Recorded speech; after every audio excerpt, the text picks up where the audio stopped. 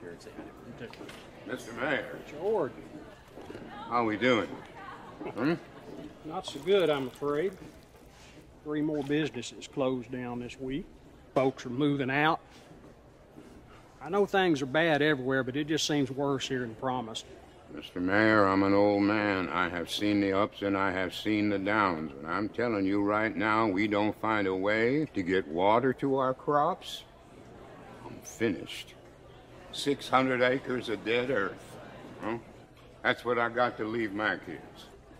I know, I know, we ain't had a drop of rain in months. And why they cut us off when the lake levels got slow, I've argued with the legislators until I am blue in the face. No, it's not your fault, Mr. Mayor. It's this town. People have just lost hope. And when people lose hope, they lose everything. Let's not lose hope. We'll try, George. Oh, I'm tired. This old man's going home. All right, have a good evening. Get you some Hello, rest. can everyone hear me okay?